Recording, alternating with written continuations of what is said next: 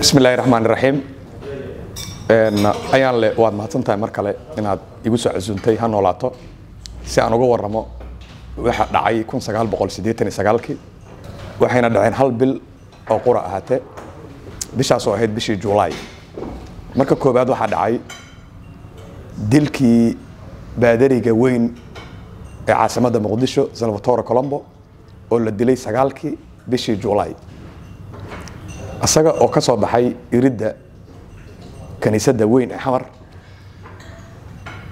goor galaba ayaa baabuur land gruser ah laga dhex toogtay xabado ayaa lagu furo meeshu ku dhacay.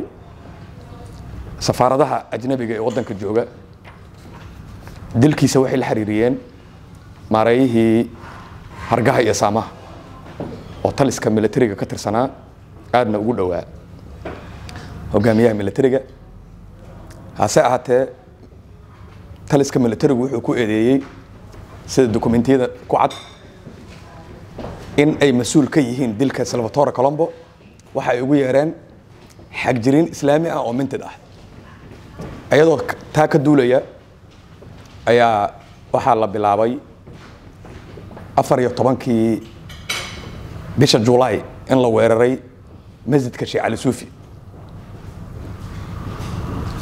weerarka lagu qaada masjidka sheekh cali suufi wuxuu dhaliyey in dadkii masjidka ku dukanaya maalin jimcad ay gadoodaan. Gadoodkaasuna keeno in koofi casti laga soo diray madaxtooyada ay dadkii ku gumaadaan kuna xasuuqaan masaajidkii iyo banaankiisiiba waxaa magaalada ku sugan oo cilmi baaris u jooga professor charles gashaktar oo ah nin maraykan ah soomaaliya b h d ka qaatay toddobaatameyadii horaantooda wuxuu aniga shaksiyan iiga warramay inuu codod ku duubayay madaxtooyada degaandegeeda kuri ku yaalla markay wax dhacayaan uuna maqlayey buuqa iyo qaylada iyo sawaxanka iyo carada dadka masaajidka sheekh cali suufi ka soo dareera ee ilaa madaxtooyada agteeda yimid ee raba inay meeshii galaan iskuna haystaan ciidankii koofi marka afar iyo tobanka sheekh cali suufi markay sidaa dhacday laba habeen ka hor waxaa la qabqabtay labaiyo tobankii bisha oo dhacdadii labaad ahayd culamaa udiin ay ka mid ahaayeen sheekh cabdirashiid sheekh cali suufi iyo sheekh cali xaaji yuusuf xasan oo culamaa udiinka waddan ka mid ahaa labadaa ninna yihiin. Laba nin oo culamaa udiin waaweyn waalidkood aabbayaashoodna ahaayeen culamaa waaweyn oo la yaqaano sida sheekh suufi iyo sheekh xaaji yuusuf xasan. Waxaa kaloo lala xirxiray oo gooni loo soo xirxiray niman siyaasiyiina oo uu ka mid yahay abukaatihii weynaa caanka ahaa ee u dhaqdhaaqi jiray xuquuqda aadanaha ee dhintay ismaaciil jimcaale iyo cabduqaadir aadan cabdulle oo uu dhalay madaxweyne aadan cabdulle cusmaan marka waa julaay sagaalkeedii oo la dilay salvatore colombo labaiyo tobankii oo culammada iyo siyaasiyiinta la xirxiray afar iyo tobankii oo dhacday sheekh cali suufi la weeraray waxa loo yaqaano black friday jimcadii madoobeyd ee dadka la gumaada la xasuuqay saddexdaas dhacda markay marayso toddoba iyo tobankii habeenkeedii waxaa la galay oo ciidan koofi casta uu galay xaafadda kaasa balbalaare ee degmada hodan oo ahayd xaafad ay degan yihiin dadkii ka soo qaxay gumaadkii ka dhacay sanad ka hor gobollada waqooyi galbeed. Waxaa meeshaa laga soo xirxiray oo bannaanka la soo fariisiiyey dad ku dhow kun qof oo lagala dhex baxay. Afartan iyo toddoba qof afartan iyo toddobadan xubnood waxay ahaayeen macallimiinta jaamacadaha dad u shaqaynaya hay'adaha waaweyn ee samafalka sida u s aid waxay ahaayeen dad safaaradaha waddanka jooga u shaqaynayey afar iyo afartan iyo toddobadan qof ayaa laga dhex soocay dadkii bannaanka la isugu wada keenay ee xaafadda kaasa balbalaare oo ah xaafadda markaa hadda waddadan marka almakorama ka degto oo siigaale aad u degto oo kor u socoto meesha bustaale ayay ku imaanaysaa marka sheekh cali suufina waa isu muuqdaan. Dhagaxa laga tuura ayaa ku dhacaya isgoyska sheekh cali suufi waddada kaasa balaare dadkaasoo la soo qaaday oo ciidan koofi castu sidaan ayaa waxaa la geeyey xeebta jaziira waxaana lagu furay baas qoriga baron ayaa lagu furay waayo safaaraduhu waxay wareysteen saraakiishii meesha joogtay qaar ka mid ah. Marka habeenka falka dhacay iyo iyo iyo iyo iyo iyo dad askar ahaa oo xukunka u dhow iyo janano ciidanka ku jiray ayay ka qoreen statements say ugu soo diraan wadamadooda oo ay u ogeysiiyaan.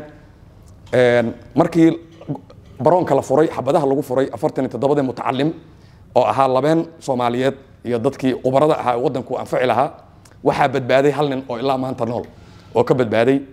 Ninkaas oo mar dambe safaaraduhu say wariyeen la geyn doono guriga axmed saleebaan daflo ahaan jiray sirdoonka maxamed siyaad barre u ahaan jiray.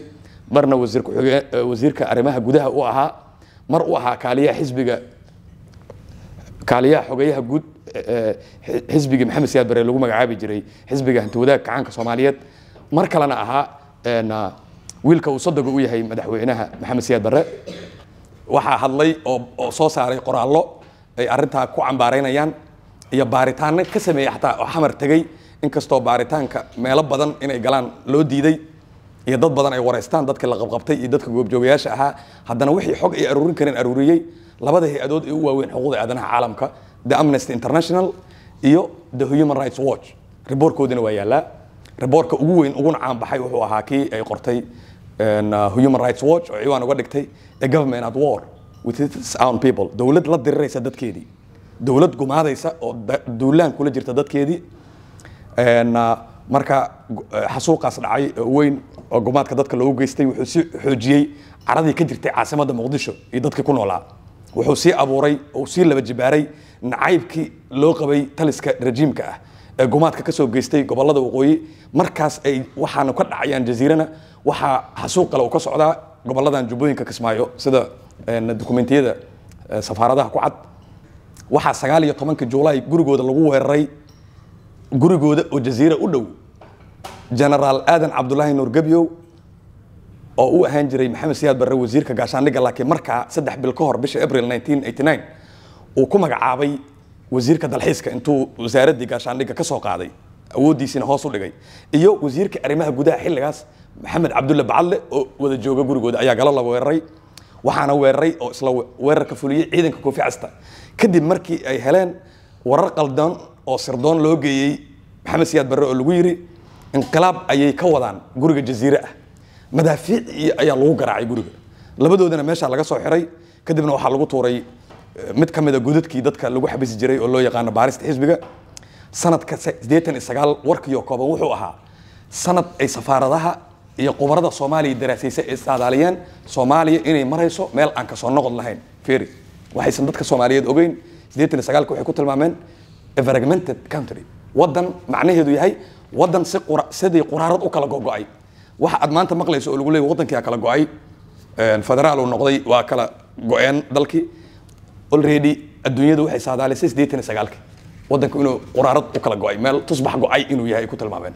Waa siddeetan iyo sagaalkii hal bil kadib july agost ayay qorayaan. Marka waa kaas inay jabhadihii sii bateen maalinba jabhad cusub la furayo waddankii oo jabhadihii sii kordhayaan. Waddanku markaa wuxuu qarka u saaran yahay marxalad kala guur ah.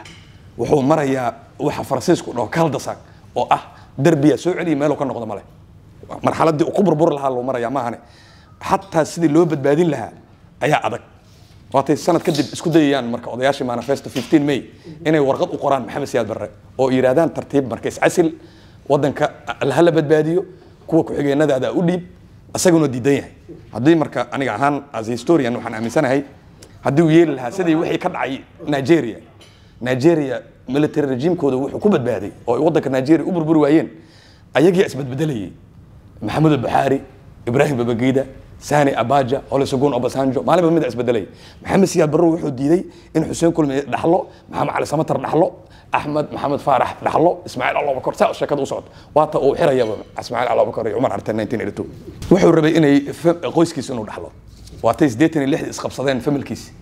Maama khadiija ilmihii dhashay iyo cabdiraxmaan jaamac barre waatay xukun ku loolameen oo safaaradaha laftirkooda kulli qorayaan. Annagana dee waa ku noodgarayna buuggeeni ay isqabsadeen xukunka la isku dilay maslax oo dhinac ah iyo cabdiraxmaan jaambar oo dhinac ah. Kuwii golaha sare ka haray oo markii dambe yani asaga ku-xigeenada u ahaana ay la kala safteen oo lala kala saftay. Marka waqtigan dambe ay falkan dhacayaan yaa ciidamadii u sarreeyey yaasa gaashaandhigga haystay. Wasaaradda gaashaandhigga waxaa jooga morgan oo gabadha madaxweynaha qabay iyo maslax oo taliyihii ciidanka ah. Taliyihii guud ee ciidanka qalabka sida maxamed siyaad barre markuu lixdan sagaalka qabsanayay siddeetan iyo sagaal labaatan sano kadib waxaa madaxa wiilkiisa maslaxa oo uu janan ka dhigay. Ayaa haysta marka waxaan dhacayaan jaziira genocide iyo waxaan oo dhanba isagiyaa xukuma meesha. Booliiska waxaa haysta cabdiraxmaan cabdi xuseen gurwade oo ah gabadha madaxweynaha isaguna qaba. Wixii o dhan waxay ku soo urureen wax caa'ila ah. Sirdoonkana wuxuu ka qaaday axmed saleebaan dafle. Marka maxamed jibriil muuse mar dhexe u dhiibay kadibna cirdayaa markaan haya marka wadankiiba wuxuu iska noqday wadan caayilo ah oo xukunkii uu yahay yani waa waa ka soo tagay qabiil iyo iyo iyo iyo jufo iyo jilib iyo qaraabo waa ka yimi caayilo maraya marka. Xidid iyo xigaalo maraya soomaalidina waa fiirsanaysaa oo wax ka hadli kara ma jiro. Cidda hadashana dee waa xabsi ay ku dambeynaysa mugta. Iyo cid carartoo jabhad samaysato waddan ka fakatay ahayd. Wax u dhexeeyay ma jirin. Sideetan lixda kahor wuxuu ku soo waday waddanka. Waxa loo yaqaan new patrimonialism inuu isku celceliyo wax oo uu wax kala laaluusho oo wixii inta wax si wixii carara dib u soo celi jabhadaha qaar in wax kala dabar new patrimonialism ku waday waxaan wax u kala si legacyga uu ka tagay dee waa waddan burburo ilaa maanta si loo soo kaba lalaaya ilaa iyo maalinta maanta ah loo soo kabo oo hadda markay na weydiiyaan gaaladii maxaa keenay war ilaa halkan wadankan waxaan eh, isku dayaa inaan fahamsiiyo. Social structureka soomaalida laga dhexeli karaa dhaqankeeda. Bulsho kasta dhaqan u gooniyay leedahay hadda ethiopia waa naga dhaqan duwanta. Ethiopia waa wadan muddo dheer eh, imperial rule lagu hayay oo dadka madax laga soo ciqaabay dadkii loo soo ciqaabay dhaqankoodana dee muddo dheer oo dheer ay ku soo jireen waxaan. Waxay aaminsan yihiin oo ay ku dhaqmaan ayaga oo nagaga duwan yihiin. Ninkii meesha qabsada inay iska dabagalaan oo waxay aaminsan yihiin falsafad u eg tan soomaalida haddaan ku turjurno dhehayso ninkii hooyaday guursada waa adeerkay. Hay xukumo laakiin soomaali saas kaama yeelayso. Soomaali dhaqankeedu wuxuu yahay xukunka ay aqbalayso keliya waa inuu noqdaa labo waxyaabood xukun ku salaysan compromise iyo consensus cid kaa yeelaysa male. Inaad iska haysato nin walba waa dagaalamaya ninka soomaali ah dee waa dhaqankiisa waa ogtahay laguma hayn karo xoog waxaa kula joogi kartaa keliya waxa uu ogol yahay wadar ogol. Feeri maxaa waaye dhaqankan ah geed hoostiisaan ku shiraynaa oo geedka nin walba maraya uu soo leexanayo uu talada dhiibanayo. Egalitarian system waay nin halkaa maraya iska soo leexanaya gar ka socota hiiraan ayuu uu ku darsanaa cid dhahaysa male kumaada jirin kartaan. Waa dhaqankoodii asaas ah dhaqankoodaasaa lagu wadi karaa marka. Oo lagu dowladayn karaa maahane dhaqan kaloo imposition oo dictatorial ah. Ma yeelayso horena ma yeelin haddana ma yeelayso. Ma wuxuusan fahmin dhaqanka soomaalida eh, social structureka soomaali ku dhisan tahay dhaqankeeda oo ah inaysan jeclayn wax dheeraada xukun dheeraada ma jecla taariikhdeeda hore haddaa akhrisid hadda qarniyo ka qarniyo waxay iska soo rideen caraweelo waxay rideen geedi historiyadooda haddaa fiirisay iyo suugaantooda aad ka dhexelaysaa maalinba waxay la daalaadhacayeen nin dictator oo soo baxay. Taariikhda firi legendka soomaalida. Ma jeclan eh, taariikhdooda iyo iyo iyo dhaqankooda. Qof iska soo taagan marka matiyuusan fahmin dee wuu u jeedaa. Marar badanna wuu saadaaliyay asaga lafirkiisa inaan la isku noqonayn. Waayo wuxuu ogaa soomaalidu d- xukun dictator oo saan oo kale hadday ridaan inay muddo dheer qaadanayso. Inay inay inay soo kabsato dadka wax ka qoray iyo eh, hay'adaha wax ka qoray arrimihii ka dhacay soomaaliya. Maxay ku saadaaliyeen markaad fiiriso eh, sababaha aad is leedahay haddaan kugu celiyo waxaas oo dhan oo gabadfallaa waa u dhacayo marka layn ay dhacdo oo gumaad dhaco waxaa dhalanaya caro waxaa dhalanaya cabsi waxaa dhalanaya colaad waxaa dhalanaya nacayb waxaa dhalanaya karaahiyo wax walbaa la socdo. Mar haddaa dad laysid feri isaga waxay ahayd jabhadaha kacay waddankan jabhado waxay ahaayeen haddaad fiirisid jabhaduhu maxay ahaayeen dad asaga la shaqayn jiray u badnaayeen ayay ahaayeen oo xukunkiisa ku hoos jiray oo dareemay yani dareemay in aysan meeshii lagu ciqaabayo oo la leeyahay annagaa wax kaa dhignay annagaa wax ku siinay wax aan la wada lahayn ay dareemeen waa fakadeen dadkaan dhan aa ujeedid waa dad ku dhex jiray systemka ma garanaysaa oo fakaday oo jabhadihii samaystay qaaday qaar asaga la socday xataa taageersanaa cabdi maxamed amiina ka mid ah abwaanka weynaa oo asaga u heesayey 1969 ninkii tiriyey wadadii cadday cagta saartay ku caraabiyow cimrigii jiriw jiriw ninka lahaa. Jabhadu ahaa toddobaatameyntii dhabaadkeedii ilaa siddeetan iyo sagaalkii soo noqdo maxamed saabir soo celiyey kadibna de wuxuu alifayey nindigii january heesihii lagu soo watiyey maxamed siyaad sida warninkow dhinkow iyo laanguruusal gada iyo. Marka dad noocaasay ahaayeen ma guddoonsatiin baahida gudbane gurigeenna toos inagoon ka guban guban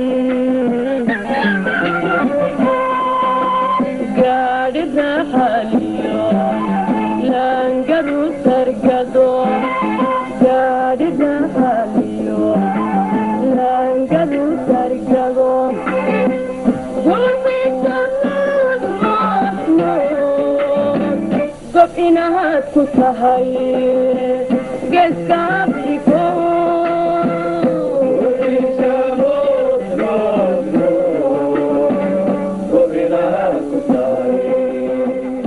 dhibaato xoog leh oo wadanku galay ahayd asaguna maareen waaye oo nabad ku maareen waaye dibashiin ku maareen waaye mana ku maareen karin oo wax kaliyu yaqaanaa waxay awood bikaas isagu moogtahay xukunka fashiistada ku dhex jiri jiray. Markuu askariga noqonaya ayuu wuxuuba askarta noqday soddon iyo afartii soddon iyo shantii een, fashiistadii. Fashiistaduna maxay ahayn kuwa talyaaniga xukunka gumaysi oo soomaaliya soo maro kuwa u liitay ahaayeen. Wadanka waxay xukumayeen kun sagaal boqol labaatan iyo labadii ilaa afartan iyo kowdii ingiriiskaa ka xoreeyay wadanka. Nimanka aad maqlaysay ahaayeen oo ke- keli asayle soo maqal oo dadka ku istaagaya oo dadka ku falay nimankaasay ahaayeen waa fashiist shaaribo dhaadheer. Nimanka abuuray aan soomaaliya ka abuuray abaratahay oo meeshan hadda mall of muqdisho loo bixiyey. Oo ahaan jirtay courage del sud la mari waayey ahaayeen oo soomaalida iyo talyaaniga kala qaybiyey sida south africa ay ahaayeen. Nimankaasu asaga u ahaa askari intelligence u qaabilsan waardiyo u ahaa. Ayagu la shaqayn jiray. wixii waddanka ka dhacay ee dowladdu geysatay ama qabaa'ilku geysteen yaa mas'uuliyaddeeda qaadaya.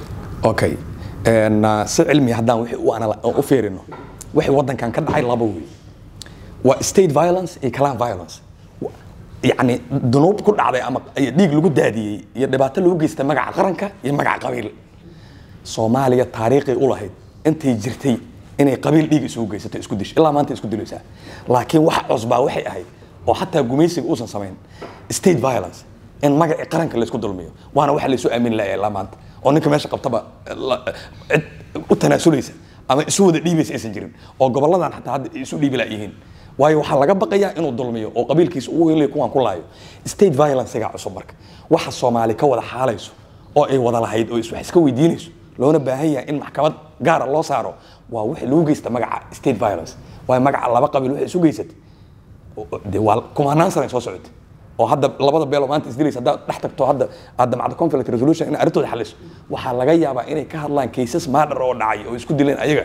Ama ay dad ku kala dileen oo diyo ku kala qaateen laba boqoloo sano ka hor inay isweydiiyaana laga yaabaa. Iyo xilligii gumaysiga waddanka soo galay in la yidhahdo maalintaasay dad naga dileen waa wax furan oo aan dhammaad lahayn oo soomaali dhaqan u leedahay waa, ay isku dilaan. Laakiin tan ugu daran waxay tahay waa wixii ku dhacay state violence qarankan la wada lahaa oo canshuurtiisa qof walba laga soo qaadayay oo ay ahayd qof walbana inuu protect gareeyo oo xafido waardiyeyo dadka lagu gumaadayo waqooyi inta loo tagay diyaarado lagu kiciyey oo diyaaraduhu iyo ciidanka galayna yihiin ogow ciidanka waqooyi galay soomaaliya oo dhan ay isugu jireen ciidanku meesha dul geeyey ma fahmaysaa goboladan hadda qaar jubbaland iyo ciidamo qabiil u geeyey iyo hiiraan iyo gobollada dhex wixii ka dhadhacayay iyo qabiillo qabiillo ku hubeynaya ahayd uu lahaa ka shaqaysta kuwan laakiin xagga wuxuu dul geeyey ciidanka qalabka sidoo dhan qabaa'il meesha degan oo hubeyna dee waa jirta oo uu yidhi yacni laaya oo waxoogaa wiiqa dadkii falalkan geystay ee stateka u shaqaynayay ee dulmiga geystay qabiiladooda la joogaan cid haysatana ma leh ha hayitaan maxaa laga waa dameer la'aanta fiiri waxaa jira buug laga qoray qabyaalada taalla afrika. Tan soomaali xataa maaha afrika oo dhan uu ka qoray.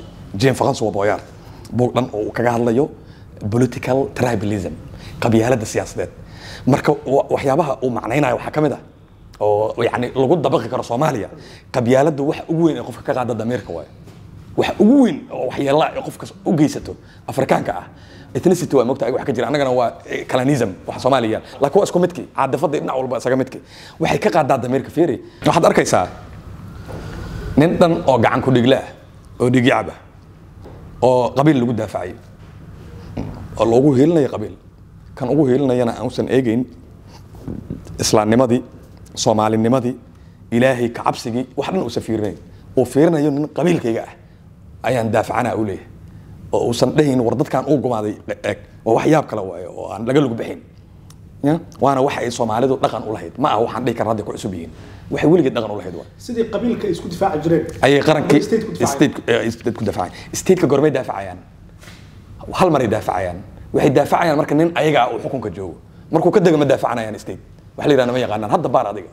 Hadda kuwa farmaajo daafacaya ii ogow meel iigu ogow adiga dowladda dambe ma daafacayaan mucaaraday ku yihiin ama waa ka soo horjeedaan ama waa ka aamusayaan ma sheeganayaan afkay ka qabsanayaan. Inta maanta jirta ayay wadaninimo feeg ah ku tusayaan oo fabricated ah oo constructed ah oo creation la abuurayo oo calusaad ah indha sarcaada lagu tusaya wax ka jira ma jiraan maxaa xala marka. Arrimihii dhacay markaad fiiriso cumqiga ay leeyihiin siday ugu dheer yihiin see loo xallin karaa oo soomaalidu ay uga bogsoon kartaa gaar ahaan markay timaado arrintan awood qaybsiga iyo siyaasadda. Waxaan waxaan maraynaa marxaladii ay mareen waddamada burbur oo dhan. Laakiin annagana lama marsin. Waxaa naga hortaagan international communitygan xalana joogaa naga hortaagan inaan marno. Waa laba waxyaaboodba inaan marna diidan yihiin. Waana waxa aan is leeyahay anigu waxay rabaan in colaadda soomaaliya iska soto dheeraato oo aan la joojin. Iska socoto. Labada waxyaabood waa maxay? Waa in la helaa guddi dib heshiisiin qaran ah oo waxaan dabagala waa in la helaa maxkamad qaada danuubtan.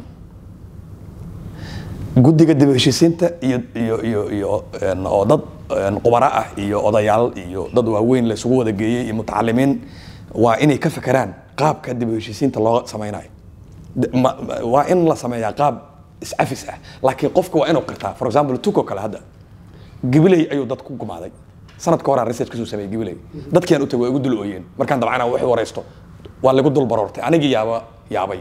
Saan u sii wadi lahaa. Xogta u sii aruurin lahaa. Mar waa joojina mar waa bilaaba mar dhex waa joojina si aan dareenkooda u dejiyay magaalada gibiley waay. Ayuu ka ahaa mogta fifth bergeeda ku haystay. Guutada shanaad. Dadkii uu gumaadaya marka qabiil inta u kala saaray askartiisu qabiil u kala saaray iska dhaaf shacabkii. Askarti ayuu inta kala qaybiyey boodigaaradiisaan soo waraysta aniga. Iyo kuwa isaga la shaqaynaya tu kala saara ayuu wuxuu ee baawur la saaray ilaa maanta lama hayo. Waxay dadka la oynayaan dadkoodii oo lafooda aysan meel ku sheegeen waay. Bal ilaahay baan ku dhaltay ka sheekay adiga meel ay ku sheegeen qaranka soomaaliya waay wax saa samaynaya oo qabiil u kala saaraya qarankaas dib ma u dhalanaa? Meel dadkii eh, askartii xoogga dalka ee ilaa lixdan kila soo dhisayay ee siddeetan iyo kooda siddeetan labada qabiil inta loo kala saaray xagga u kala baxa ay isu jeedaan. Dib dambe askar isku aaminaysa maa jira oo haddana la xukumo maxkamad xukuntay in safaaradda soomaaliya oo lagu arko madaxweyne soo dhaweynaya ka war. Damiir la'aantay ka mid tahay. Oo dad daafacaan oo farmaajo isla sawiro. Waxay ka mid tahay damiir la'aanta qabiiliga ah. Ha qabyaaladaa keenayso. Ya? Qabyaaladaa keenaysa adigaan lagu eedanaa qabiil isagiyaana sameynayo ku dhex jiro dhex dabaalanayo. Waa tayaab kale waaye oo aan runta laga sheegayn may garanaysaa laakiin wax walba dee wax walba tana ka soo baxay arrintan waa arrin noo taalo oo dadkan iyo dalkan kalama tegin kalamana go-in dadka weli waa isku qasban yihiin laakiin cid isku hayso oo ka talisay laa yihiin maxaa nala gudboon marka? Soomaali soomaali waxaa lagu karaa? waxaa nala gudboon intaan eh, maraykan iyo ku dhex raadin lahayn iyo iyo ingiriiska iyo dibadda laga dhex raadin lahaa iyo belgium iyo loogu tegi lahaa kuwii danuubta galay in dowlad soomaaliya oo xalaala la helo oo dadka matasha maxaa dowladda waddanka looga helaya legitimacy maxaa lagu leeyahay oo ay ku haystaan shabaabka iyo cadaaladii fulinayaan soo maha justice system. Cadaaladii ful hadda haddaa u dacwoto tiraahdo tukaa jooga meesha la yidhaahdo ah, beledul iyo mubaarak iyo iyo jilib iyo waa ku soo qabanaya shabaabka. Mogtahay waa in wax cadaalada la helaa. Systemka cadaaladda ayaa corrupted ah dowladda soomaaliya. Cadaalad hadday jirin securityna ma jiraayo dowladnimo ma jirayso waa in qofka qof soo eedeeyo loo maxkamadeeyaa oo loo soo qabtaa mugta marka intii maraykan iyo washington iyo virginia loogu tegi lahaa tuke waa in maxkamado garsooro cadaalada la sameeyo oo qofkii soomaaliga dhibka sheeganayay loo qabtaa qofkii dhibaateeyey oo magaca caqradan ku dhibaateeyey mugta. Hadda dadaa wax dhibaateeyey saraakiila hadda la haystaa oo gurigii cabdiraxmaan abshukuur weeraray. Ha. Ferry hadda waxaa laga dhigayaa dowladdii lacagteedii aa lagu daafacayaa dad danuub galay oo war criminal ah oo adduunkiyaa ku dhegan adduunka kale dacwoonayo ku dhegan soomaali xataa adduunka kale qaylinayo oo le danuubay galeen oo guma- Yo- yo- yo dadkaas. oo gumaaday geysteen Da- dad systemka dowladda maanta ku dhex jira oo soomaalina ay wada ogtaa systemkay ka mid yihiin Ma- madaxweynaha ka mida ra'iisul wasaaraha ka mida waxaa soo gelaya kuwa ciidamada xukumo waa loo raacana hadda fiiri farmaajo marka xukun ka dago soo ma ogisada maxamed cali samatar inuu noqonayo oo gumaadka guriga cabdiraxmaan cabshukuur ka dhacay asagaa loo raacana baasaboor diblomaadaan wataa ninka ma yeelayo sidii maxamed cali samatara loo dacweynaya oo loogu sheegana dembiga waxaana la weydiinaa war meeshaan lix qofaa lagu aasay dharkoodii waa la soo faagi doonaa ogow kuwii la aasay. Kuwii aasayaa sheegi doona markuu farmaajo meesha ka baxo. Meesha ay hadda ku jiraan ama ha lagala baxo ama ha lagu jire meel kasta oo la geeyo kuwii sii geeya sheegaya soomaali war uma kala qarsoona beri marka farmaajihii lafihiyaa la dul geynaya maxkamaddii meeshuu ku dambeeyaba hadda systemka in laysku dulmiyo oo powerka siyaasiyiinta qaara hadda shacabka keliya lama dulmiya siyaasiyiinta isku dulmiya powerka kuwa isla joogay kuwa kale. Arrintaa weli waxba lagama baran soo maaha. Markaa fiiriso wuxuu gacan ku samay jiro Maya. hataa dimuqraadiyadda sheeganayna maxay tahay? Wax cashara oo laga bartay ma jirto. Waana la filaya ogow. In xukun dictator imaanayo oo saan la isu gelayo 22 alif oo saadaaliye mid halkan jooga hadda. Oo odaya. Waayeel oo la yidhahdo professor christopher calafam.